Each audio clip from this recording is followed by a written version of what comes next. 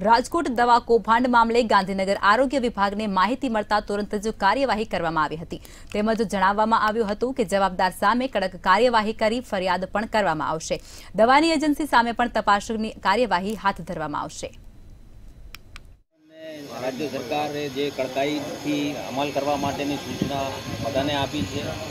અને Gujarat medical services corporation એમાં તમામ રીતે ચકાસણી કરશે. જે જવાબદાર હશે એની સામે કડકમાં કડક પગલાં જેનેમાં એફઆઈઆર કરવા સુધીની નું પગલું જે છે એ લેવામાં આવશે અને કોઈને એમાં બક્ષવામાં આવશે નહીં અને કોઈનો બચાવ કરવામાં આવશે નહીં.